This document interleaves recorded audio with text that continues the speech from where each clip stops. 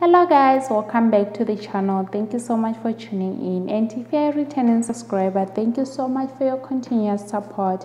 But if you are new here you are very much welcome. Please do the right thing by clicking on that red subscription button down below. And don't forget to turn on the notification bell so you're the first one to get notified whenever new videos are uploaded. So guys in this video i'll be looking at teasers of uzalo from monday till friday the 15th of april as on Monday, Mondli is faced with a normal dilemma, or rather moral dilemma, and Tuesday, Cocoa gives Vika's gun to Mondli.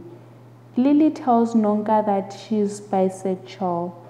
Vika offers Mondli a bribe.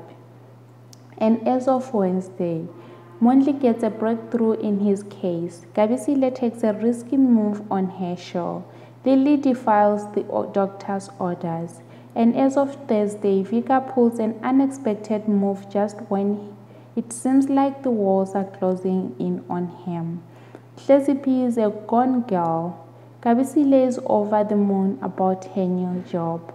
And as of Friday, Nkunzi cements his position in the underworld.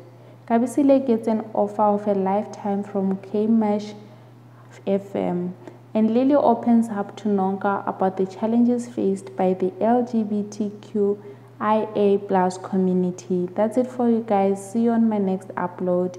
Bye for now.